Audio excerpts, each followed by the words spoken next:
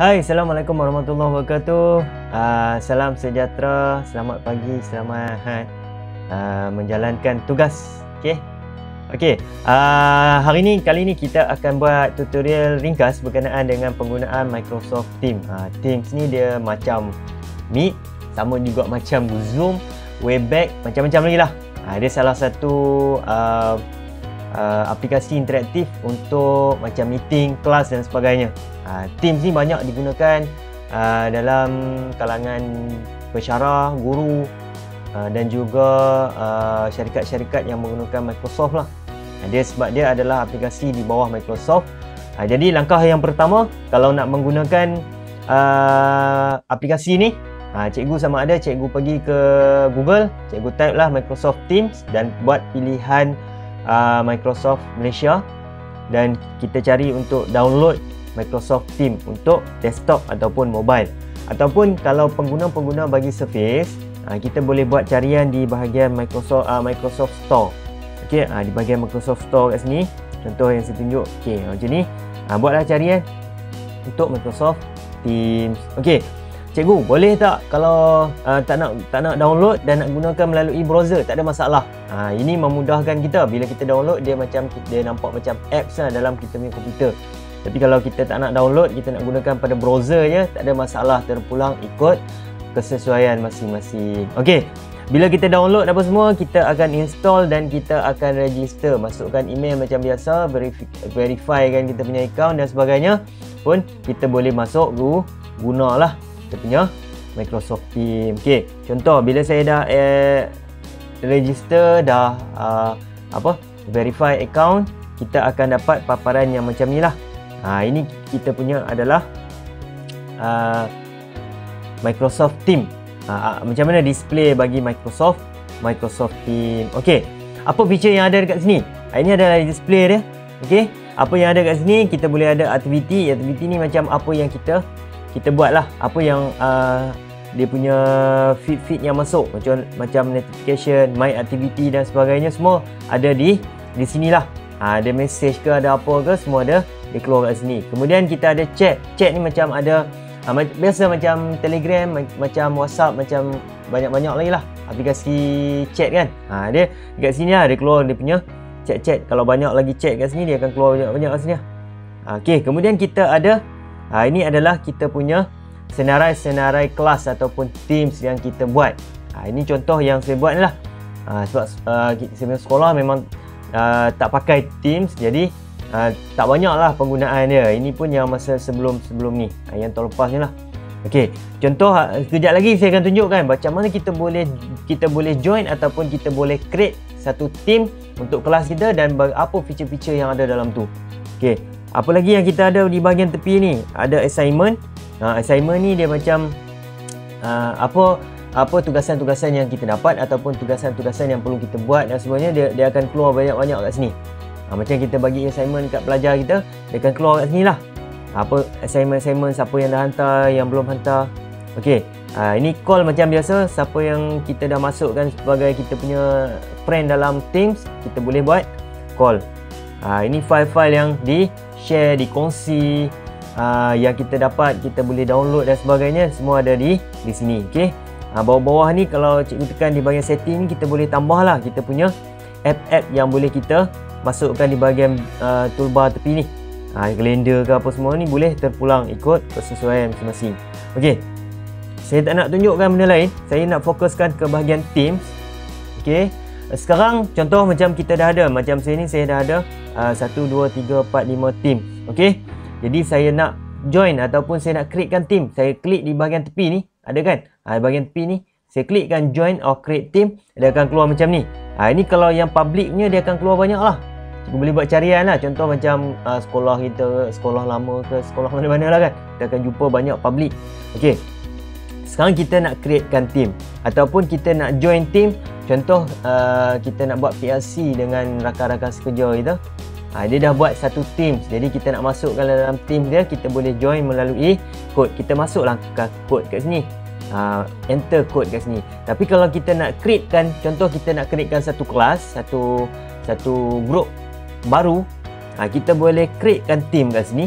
Okey, dia akan keluar macam ni, kelas PLC staff other.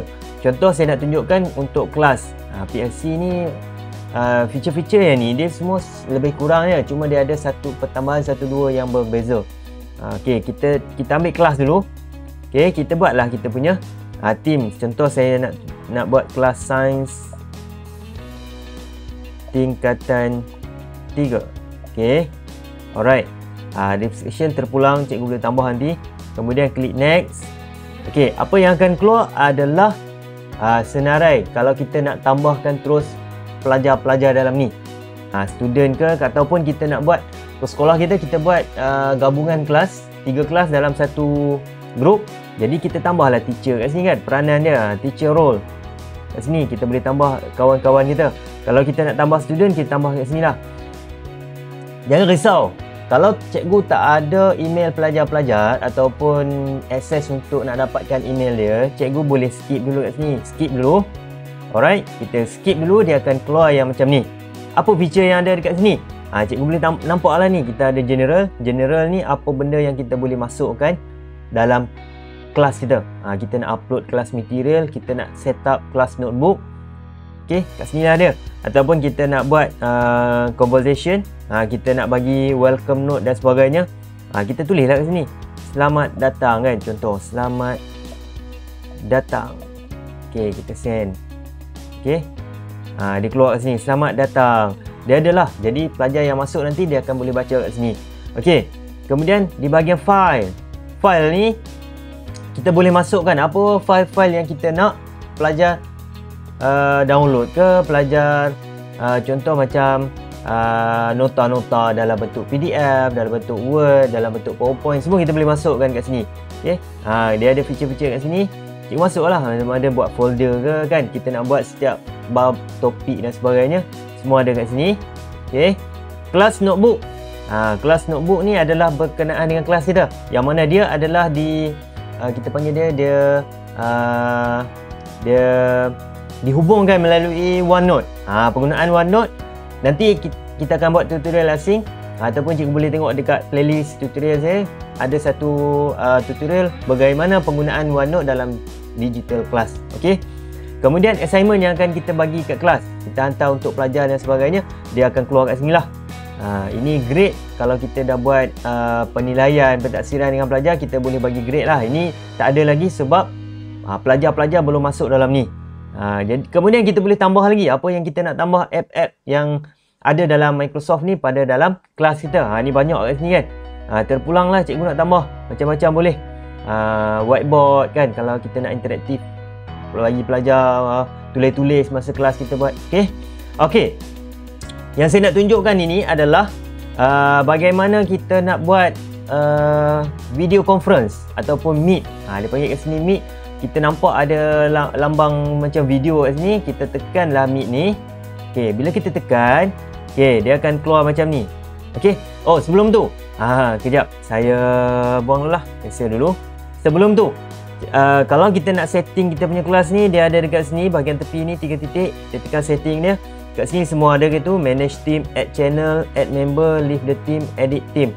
Get link to team. Uh, delete the team. Okey. Sekarang kita nak uh, bagi link kepada pelajar bagaimana pelajar boleh masuk ke dalam team kita, kelas kita ni lah.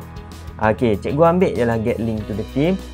Copy yang ini, cikgu pun bagilah kepada pelajar dan bagi tahu dia, pelajar masuk uh, install Teams dalam komputer ataupun dalam handphone masing-masing dan register menggunakan email daripada uh, sekolah ke, email daripada maktab ke, email daripada mana-mana lah ataupun email peribadi okey ha, jadi semua ni dia akan masuk pelajar akan terus direct masuk ke dalam kelas kita nanti dia akan ada lah. Kita punya senarai pelajar-pelajar yang masuk. Okey friend. Ha, kita punya apa team-team member dalam ni. Alright. Okey kita berbalik kepada nak buat video conference. Kita tekan meet alright. Ha, ini buat pilihan komputer uh, apa audio mic semua ni. Ha, ini saya off dulu takut bergema ni. Alright. Okey, kemudian saya pun join now. Alright. Uh, ini saya kena tunjukkan ini sebab ini ada satu feature yang memang tak ada dekat uh, Meet. Meet ada tapi kena buat add, add, add, extension. Ha, dekat sini tak payah. Okey, kemudian kalau kita dah buat Meet, pelajar masih belum masuk, kita masih lagi boleh uh, bagi meeting link ni untuk dia masuk. Uh, kita bagilah ataupun kita add menggunakan email dia. Okey, ni si pangkah. Baik, bila kita dah, dah keluar macam ni, ini macam uh, kita punya video conference ataupun kelas kita. Okey, apa feature yang ada kat sini? Macam biasa kita ada share screen kita ada ini mikrofon eh, ini video. Kemudian ada breakout room. Okey breakout room breakout room ni adalah uh, penggunaan untuk kita contoh macam kita tengah buat uh, kelas dengan ramai pelajar 50 orang kita nak pecahkan kepada 5 orang satu kumpulan buat perbincangan dalam masa 10 minit. Ha, jadi kita settingkan breakout room suruh pelajar uh, berinteraksi sama dengan orang dalam masa breakout room 10 minit tu dan cikgu boleh pergi pantau setiap uh, room-room yang cikgu dah buat sama ada automatik ataupun manual. Manual ni maksudnya cikgu boleh pilih lah pelajar ni masuk dengan ini ini. Kalau automatik dia akan pecahkan automatik. Okey. Alright. Uh, kemudian dia ada lagi dekat sini adalah uh, conversation, ada apa? Uh, chattingnya tu kan. Uh, dan yang ini yang penting, show participant. Yang ini belum ada participant. Okay. Kalau cikgu dah, dah, uh, dah add team member, dia dah keluar banyak participant kat sini. Cara yang mudah untuk kita nak download attendance list. Uh, kan kita nak buat uh, rekod kehadiran. Cara mudahnya dekat sini, tiga titik ni, cikgu tekan kat situ. Kita ada download attendance list. Uh, download attendance list. Kita download lah kat sini. Uh, bila download, dia akan masuk terus ke dalam downloading kita ha, downloading dokumen kita dia akan masuk dalam tu. Cikgu pun boleh tengok lah nanti. Ha, jadi mudah untuk kita buat uh, kehadiran para pelajar. Ok alright. Uh, saya tengok. Ha, ok ni. Jadi bila dah download cikgu tak perlulah minta lagi kehadiran cikgu tak perlulah minta ni. Jadi pelajar yang masuk dalam ni semua automatik dia akan download untuk attendance list. Ha, jadi mudah untuk kita buat record. Ha, kemudian saya leavekan call Okey. Jadi itu saja untuk uh, penerangan bagi uh, langkah mudah untuk me- membina dan me- menjalankan kelas Teams dalam Microsoft Teams. Okey. Jadi kalau ada cikgu mungkin sebarang soalan penambahbaikan ataupun perbincangan apa-apalah komen-komen cikgu boleh komen di bahagian bawah video ni. Okey. Uh, kita boleh uh, tengok mana yang kita perlu perbaiki dan sebagainya. Kalau ada kesalahan daripada pihak saya, saya mohon maaf dan uh, ampun dan maaf lah. Uh, moga perkongsian ini bermanfaat untuk cikgu yang nak bermula dengan Microsoft Teams dan uh, selamat maju jaya. Assalamualaikum warahmatullahi wabarakatuh.